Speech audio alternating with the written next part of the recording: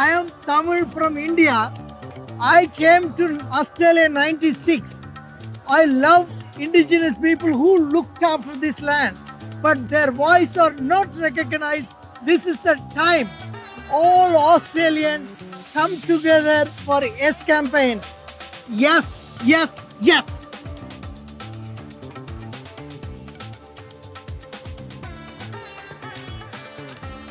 Authorised by Dean Parkin Australians for Indigenous Constitutional Recognition Limited, North Sydney.